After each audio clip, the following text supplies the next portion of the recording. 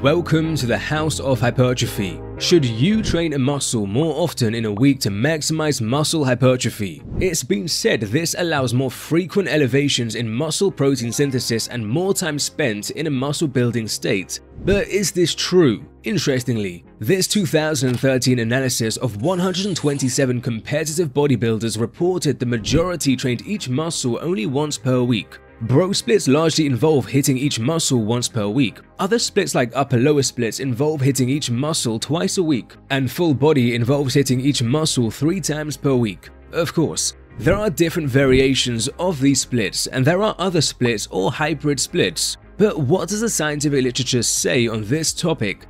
A new meta-analysis including 35 studies with over 1,000 subjects has examined the effects of how often you train each muscle in a week on muscle growth. This is the same meta-analysis that explored the relationship between volume and hypertrophy we dissected in our last video, but it had another analysis on frequency. Let's dive into what they found.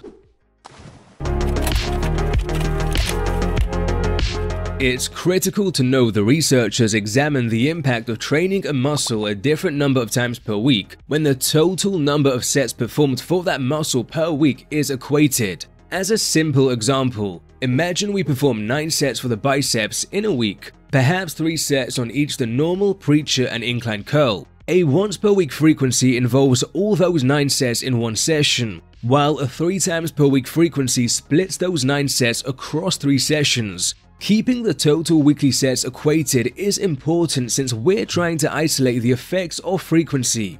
Another critical thing is most studies had all subjects perform their sets to or very close to failure within a rep range. Loads are usually adjusted within and across training sessions to keep reaching failure within that rep range. This is important. With our example of performing 9 sets for the biceps all in one session, you can imagine fatigue will notably build up such that those later sets are going to likely be using much lighter loads to reach failure in, say, the 8 to 12 rep range. Conversely, splitting those 9 sets across 3 sessions involves fresher sets. We want to see if this leads to higher frequency producing better results. The final thing we must know before revealing the results is the researchers examined if there was a superior method for counting training frequency. This sounds confusing. If you watched our previous volume video, this is similar to what they did here, but let's see how it applies to training frequency. First, we need to know the difference between a direct and indirect set. A direct set for a muscle is a set on an exercise where that muscle is the primary force generator. Think of the biceps in any biceps curl, the triceps in any triceps extension, and the chest in most bench pressing exercises. An indirect set for a muscle, however, is a set on an exercise where although that muscle is still fairly trained, it's not the primary force generator. This could be the biceps in any rowing exercise and the triceps in a wider grip bench press. Not everyone will agree on what should be a direct and indirect set for each muscle, but here's a table showing what the authors considered as direct and indirect sets for each muscle. These are the exercises and muscles involved in the data, that's why not every muscle and exercise is shown. The first method, the total method, considers both direct and indirect sets equally. For example, if we train a row on Monday and a biceps curl on Thursday, this is a frequency of two times per week for the biceps. The second method, the fractional method, considers indirect sets as half the frequency of direct sets. With our example of rows on Monday and curls on Thursday, this is a frequency of 1.5 times for the biceps. The final method, the direct method, doesn't even consider indirect sets. So with our example, it would just be a once per week frequency for the biceps. The researchers ultimately found that the fractional method performed the best in explaining the data, with the evidence being strongly or very strongly in favor of this method. This is logical, Indirect sets aren't as effective as direct sets for stimulating a muscle, which might be why it was better than the total method, but indirect sets still provide some degree of stimulus and should therefore still contribute to a muscle's frequency, which may be why it was better than the direct-only method. From here, remember the frequency numbers you see are calculated with the fractional method. With all that out of the way, here's the relationship between training frequency and muscle hypertrophy found. there's no consistent or large effect of frequency. There's an increase going from 0 to a frequency of once per week, which isn't that shocking as 0 times per week isn't training at all. There was a slight increase when going from once to twice per week, but the credible intervals indicate it's compatible with negligible effects and there's no crystal clear benefit of training a muscle even more times per week. Thus, when the total number of weekly sets are equated, how often you choose to train a muscle in a week doesn't seem to matter all that much. This is consistent with a meta-analysis earlier this year suggesting similar hypertrophy between split routines and full body programs. The current data also fails to suggest a meaningful difference between trained and previously untrained individuals.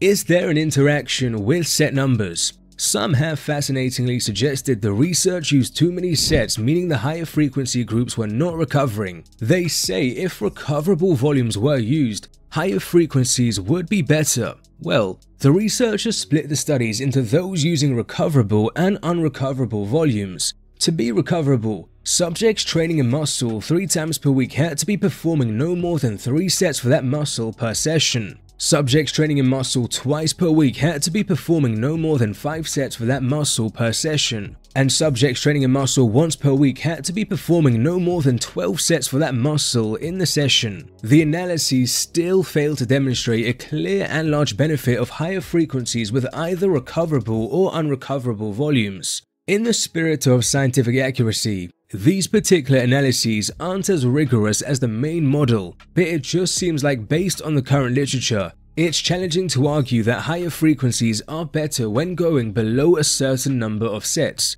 It is also challenging to argue higher frequencies are better when going above a certain number of sets since the unrecoverable studies generally involve higher weekly sets. This is notable because others have suggested, and I believe extremely logically, that training a muscle more times per week is beneficial when we're performing a lot of sets for that muscle. For instance, if we're performing 15 weekly sets for the biceps, you would think performing all of that in one session would be excessively fatiguing, such that dividing it across a couple of days leads to higher quality sets and thus better growth. This is something that I would think to be true, and I am genuinely surprised it's not clearly supported by the literature. To be clear, going from once to twice a week for a muscle did numerically result in more growth, but scientifically speaking, we can't say if it's a genuine, clear and large effect, at least not currently. I'll put forth some further ideas in a second, but before that, I must circle back to the recoverable values. I think the researchers use them since these are the values floating around social media. However, when considering the overall literature and not just a few papers, it's within the realm of possibility to recover from doing more than these values suggest. This paper had trained individuals perform this program daily for 4 days. 4 sets for the chest and quads were performed per session. Subjects managed to maintain their bench press and squats performance throughout with actually a slight increase in squat performance on the final day, suggesting the capacity to recover in 24 hours from 4 sets.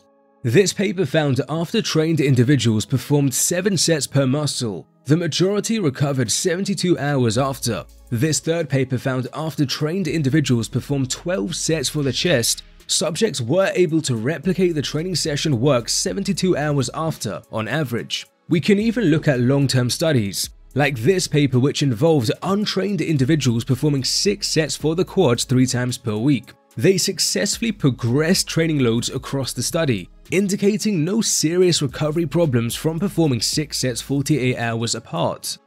This paper from last year had well-trained individuals performing 11 sets for the quads twice per week, and the data demonstrates they were able to progress loads across the weeks. Of course, there most likely will be differences in recovery capabilities between people. I'll return to this point shortly.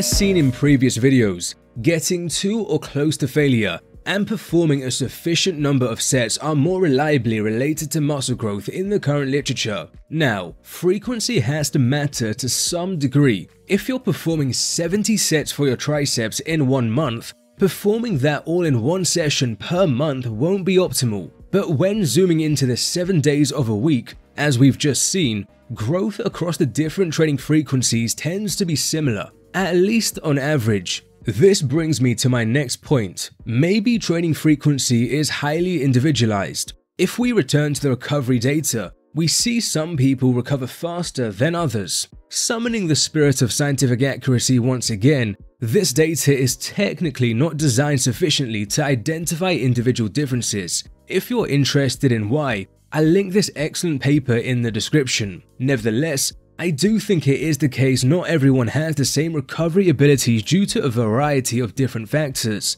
This may also include recovery within a training session. Some might better handle and dissipate fatigue within a training session, while others experience a severe drop in performance on later sets. These factors could mean some people benefit from training a muscle more often, while others might not. Thus, when piling the average results from a range of studies, we fail to find clear effects of training frequency. Now, I'm not saying this is definitely true, but I consider it a possibility for now.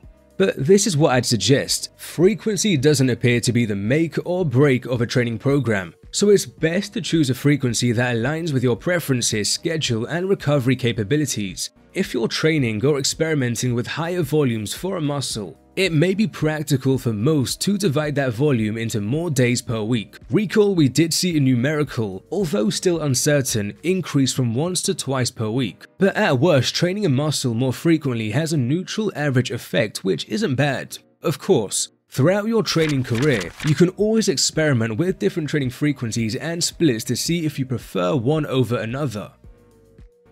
If you're searching for further guidance on programming to obtain your desired physique, it can be tricky and time consuming. However, our high quality partner, the Alpha Progression app, can help you generate an evidence based training program that's 100% custom to your needs in less than 3 minutes. Simply specify the equipment you have, how often and how long you want to train for, and if you want to focus or neglect certain muscles. There are even advanced options to periodize your training and implement deloads. There are over a quadrillion input combinations on which your plan is based, and with a touch of a few buttons you can customize things further. Through analyzing your past performance, the app provides progressive overload recommendations during your workouts to help you continue making gains. The app automatically generates graphs that display your long-term progression, thereby saving you time from having to manually track your progression. The link in the comments and description gives you a 2-week free trial of all the premium features, and if you like it and decide to go beyond, the link gives you 20% off a subscription. I truly believe the app is awesome, and the reviews speak to this. Thank you for making it to the end. Feel free to check out another one of the videos at the House of Hypertrophy.